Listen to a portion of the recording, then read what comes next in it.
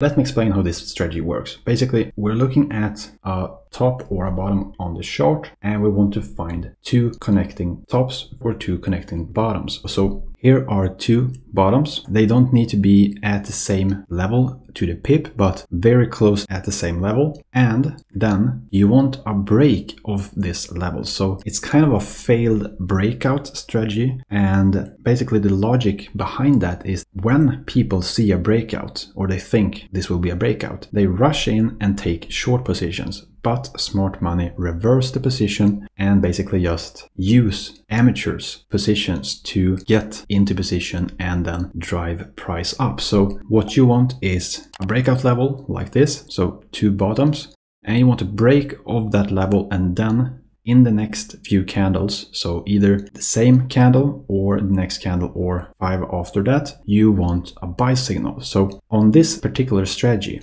you can enter right away when you get the signal. So this can happen during the candle. So inside here, you could probably have entered somewhere around here. And as soon as you enter, you place your stop loss below the lowest low. Now here's what really exciting about this strategy. Because we're picking bottoms and we're expecting a big move, we can use a trailing stop loss to lock in as much profit as possible. Because we don't know if price will reverse here or if it will reverse here or if it will reverse here or if it just will continue up. So what you want to do is click indicators and here you search for exponential and you want moving average exponential and you click that. You can favorite so it's easy to get back to it. And if we double click here I like to keep it white. And input here you want 8 so let me explain how this trailing stop loss rule works.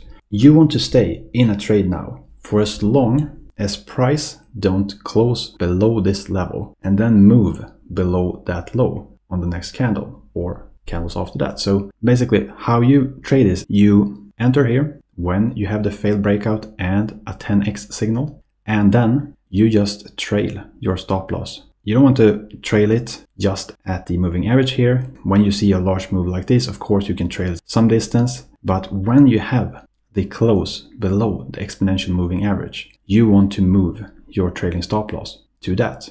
And depending here on how aggressive you are with your trailing stop loss, you can place it just below the level or give it some more distance. So I like to give it some extra distance because you often see that we just close below and then just reverse back up again. Now you see here that if you didn't get out here, you would have moved up your stop loss below this red candle here because this closed below the exponential moving average. And you see that you could still be in this trade.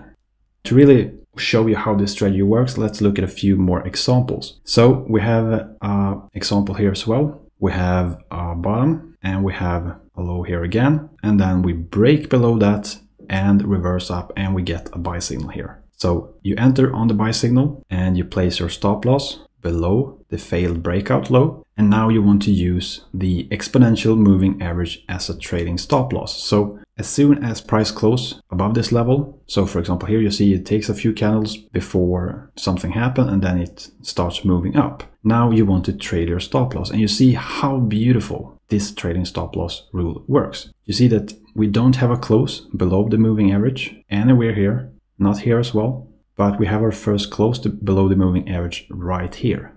And basically what you want to do is trail your stop loss up to that and on the next candle you're out.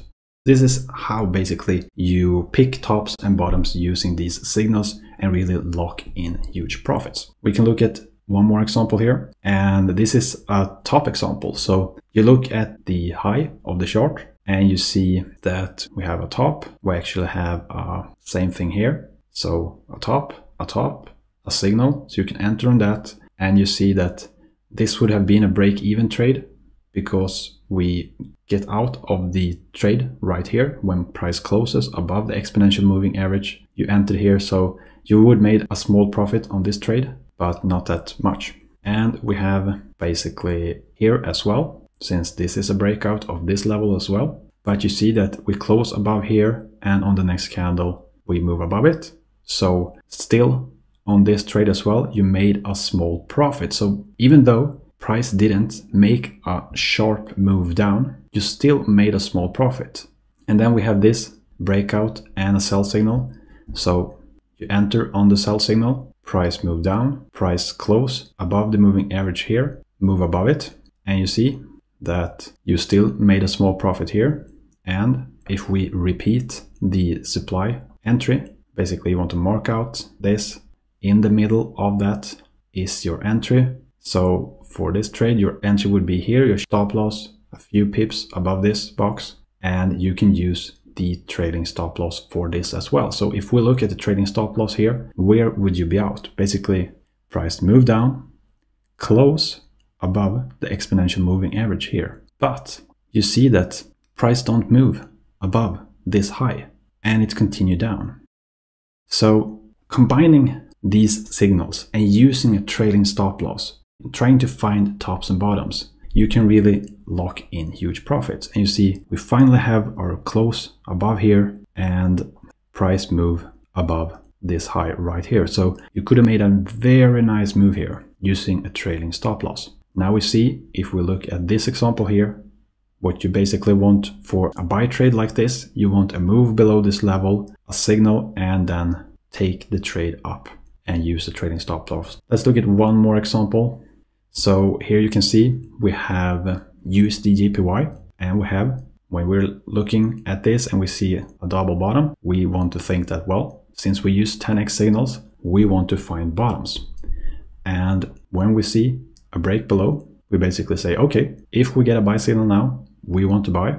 So you get the buy signal, you can enter these buy signals as soon as they appear. So often during the candle. So you would probably be in somewhere in here. And you use the exponential moving average as a trailing stop loss. And you see that you have your close below here. So your initial stop loss was below the low, but you can move that up to this level and then price come down and break below that level here. So you would made a nice profit here as well using this technique. So when you mastered the horizontal technique like this, you can use this for trend lines as well. So if we see a top trend line like this, so a resistance and a break of that and a sell like this, you can enter on that and basically entry, you would not be stopped out here and price move down close above the exponential moving average and you're out here and then price move down again. And just to give you a quick tip here you often see in strong moves first impulse down a retrace and then a second impulse. So